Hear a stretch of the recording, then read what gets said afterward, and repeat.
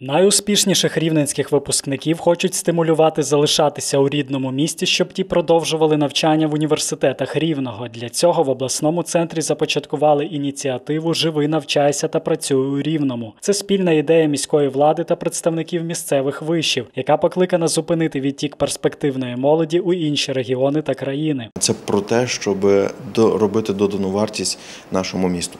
Про те, що в нашому місті є кращі вузи, нічим не гірші за польські чи інші українські. А в нашому місті є всі умови для розвитку, для навчання для наших е, студентів.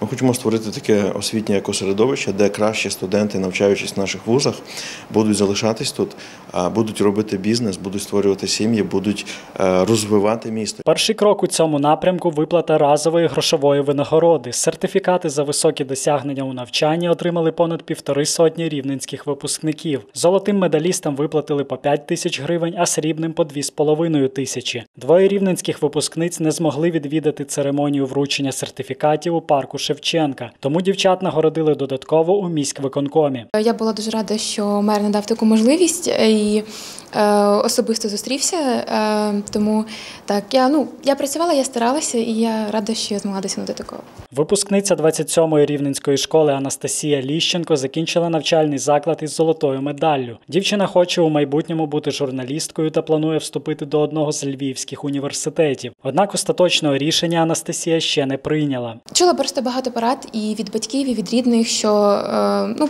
Пропонували їхати е, в інші міста, але мер змусив задуматись, можливо, краще залишитися в Рівному і поступати тут. Натомість інша випускниця, яку нагородили у міськвиконкомі Ярослава Мотринець, має твердий намір лишитися у рівному. Дівчина каже, що маючи велике бажання вчитися, можна стати гарним фахівцем і вдома. Я дуже захоплююся інформатикою, мені подобається розбиратися, особливо в дизайні комп'ютерна графіка, оскільки ну, не маю можливості раз виїхати з міста і навчатися там, то планую залишатися в Рівному, попробувати себе дещо іншому комп'ютерних науках. Додамо, що цьогоріч чимало випускників вагаються стосовно вибору майбутньої професії та місця навчання загалом. Війна внесла корективи у звичне життя, в тому числі молодих рівнян. Однак загальна динаміка вказує на те, що все більше місцевих випускників обирають між здобуттям вищої освіти за кордоном або вступом до рівненських вишів. Микола Брежицький, Олексій Олексієнко. Випуск новин.